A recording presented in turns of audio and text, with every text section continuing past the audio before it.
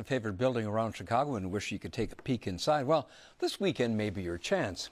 Geoffrey Baer is here to tell us more in this latest edition of Ask Geoffrey. Geoffrey, good to see you. Always good to be here. Tonight's question what should I check out at this weekend's Open House Chicago? And, and, just full disclosure, the questioner is is our producer, right. Quinn, who is sitting in the control room right now. But it's a good one. But it's an excellent regardless question. Of Absolutely. The source. So Open House Chicago is literally an architectural open house. Um, uh, it, it, lets you inside 300 buildings that you normally would only be allowed to see from the outside. Um, and some of them are treasures that you may never even heard of. Uh, so, do you have any favorites? I do, of course, and we're going to talk about them right now. Uh, let's start with the south side uh, with an old social hall called the Forum. It's right off the 43rd Street Green Line stop in Bronzeville, and we actually are going to be featuring this on our upcoming special Chicago by L, uh, which we're filming right now, and it'll be debuting in March of next year. So the Forum was built back in 1897 when the neighborhood was mostly European immigrants. Later, of course, as you know well, Bronzeville became a vibrant center of African American life.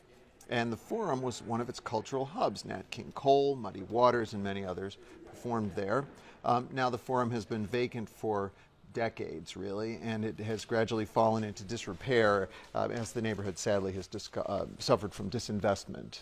Uh, that looks like a cool building. What's happening yeah. with it now? Well, um, the new owners have actually been slowly restoring the building, which is great.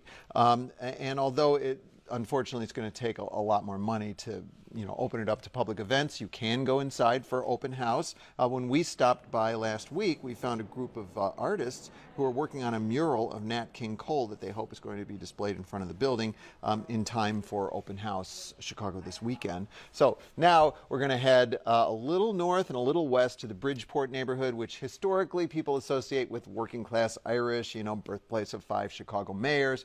But in recent years the neighborhood has become much more diverse, um, including a Chinese population, Chinatown not far away.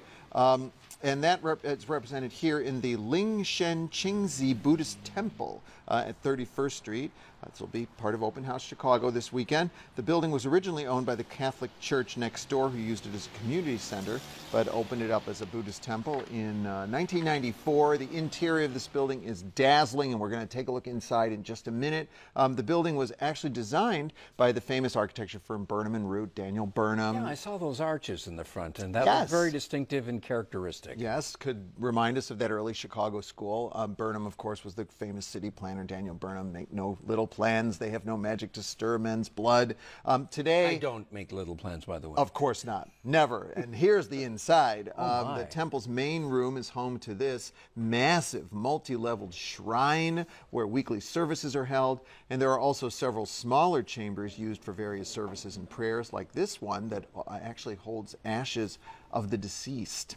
Okay, Open House Chicago continuing, moving up to the north side. Um, here's a building that anybody who drives on the Kennedy certainly recognizes. It's Northeastern Illinois University's El Centro campus, located in Avondale, the Avondale neighborhood. Uh, NEIU built it to better serve Latinx communities in the area, although all students are welcome to take classes. Uh, the building was designed by Chicago architect Juan Gabriel Moreno and opened in two, uh, 2014. Uh, and notice how instead of avoiding the highway, Moreno really embraces it, you know, positioning the building so it sort of follows the curve in the highway. And those blue and yellow fins no, not IKEA. Um, they're actually the school's colors, Northeastern Illinois University, and um, they're not just ornamental. They actually help cancel out noise from the highway. Um, they're also angled to provide shade from the setting sun in the evenings. And uh, inside, you'll find classrooms, laboratories, and meeting spaces, which are all connected by sleek hallways that wrap around the entire building. And how about Chicago schools? Are any of them going to be open this week? Chicago weekend? public schools, yeah. Well, uh, they, they won't be open to students tomorrow, as we mm, know, right. sadly, from reporting you've done earlier on this program. Um, but Chicago does have many architecturally significant public schools. Um, and one notable example that hopefully will be open this weekend for Open House Chicago is Carl Schurz High School in the Irving Park neighborhood.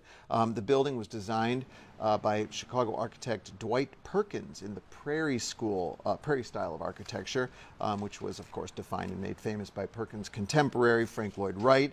Uh, Perkins was hired as the chief architect of the uh, Chicago Board of Education in, in 1905. He designed actually more than 40 schools, in- including Schurz, which opened in 1910.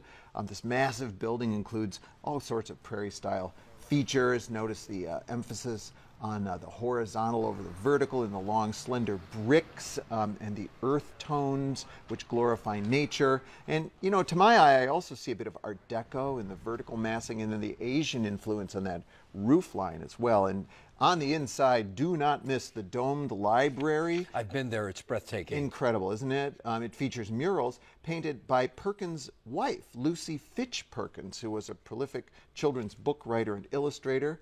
Um, Schurz uh, actually has a twin. Um, Bowen High School on uh, 89th Street near the Chicago Skyway was uh, also designed by Perkins from identical plans um, and also in 1910. Are there any uh, final recommendations of what people might check out this weekend? Well, Phil, there is one that has kind of a personal association Let's for hear it. me. I couldn't let it go without that. How about this? Um, uh, this is the Columbia Yacht Club, which is um, anchored or moored uh, south of Navy Pier. I mean, it houses, it's housed in this massive former Nova Scotia Railroad ferry called the Abegweit. For decades, the boat ferried passengers and train cars between Prince Edward Island and New Brunswick up in Canada and was reportedly one of the most powerful icebreakers in the world. Um, it was purchased by the Yacht Club and retrofitted uh, in the 1980s, and it hasn't left the dock since.